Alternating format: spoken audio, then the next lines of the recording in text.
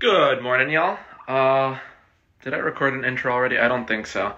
Because I said I would record it as soon as I woke up, but it's been an hour since I woke up.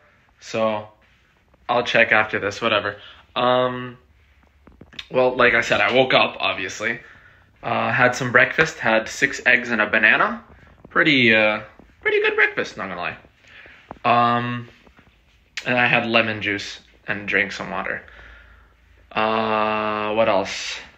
Oh yeah, I'm gonna go on a run in a bit as usual because I said running is for the weekends.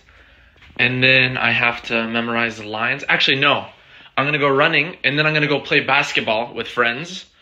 And then I'll come back, take a shower, have lunch, and then memorize lines because I have to I have to be off book by tomorrow, so I'm gonna and I just got the scene, so that's gonna be fun. Anyways, yeah. I didn't make it this far yesterday because I'm trying to run a little more every single day. And I found this area. It's a really cool pathway with like trees next to the river. I love this. Just finished the run. Got myself an ice cream pop. It was literally right next to our house. There was a stand. And I was like, you know what? I ran. I deserve a little treat. So I got strawberry. Not bad. It's not good, but like whatever. Um, yeah, I don't know what I'm gonna do now.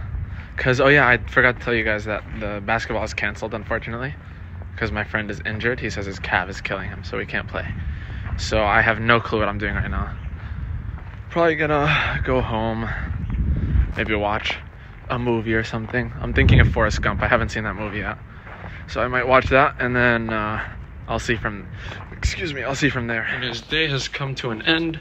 I was just at Hassan's room. We were recording for the podcast because we do that every week and we weren't able to do it last Friday because he had a shoot. So we did that today instead. It was a fun podcast. Uh, but yeah, I think this is where I am gonna call it quits.